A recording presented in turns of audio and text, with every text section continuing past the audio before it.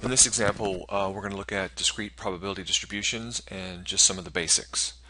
So this is a question out of our textbook where they gave us number of types of thefts. They tell us that the total is 642. So if you added all these numbers together, it would be 642. Uh, I've gone ahead and already done the math, but here these are all the probabilities. Right? So this is basically uh, what part A would look like. When they say construct a probability model, they're just meaning uh, make a probability distribution table. So each one of these numbers represents these probabilities, and simply it's just this number divided by the total. Remember probability, right? Probability of an event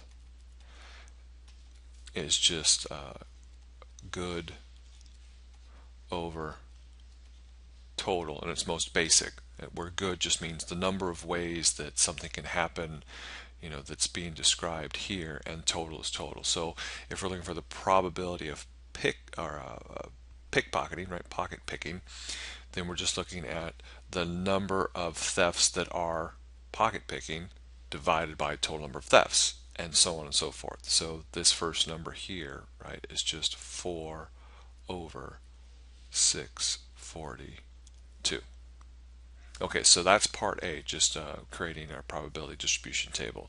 We should also always check to make sure these all add up to 1, because if they don't add up to 1, it's not really uh, a probability distribution. And in fact, they do add up to 1.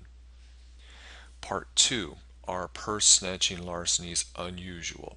So purse snatching, right here, here's our probability. Highlight it in yellow for us. And what's our definition for unusual, right? What does it mean to be unusual?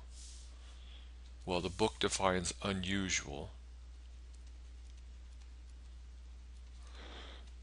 is anytime the probability is less than 0.05 or 5%. So is this less than 5%? Yes. Right. So this would be a yes. And then bicycle larcenies. Alright, so that's down here, bicycle larcenies. And you can see that that's greater than 5%, so that's a no.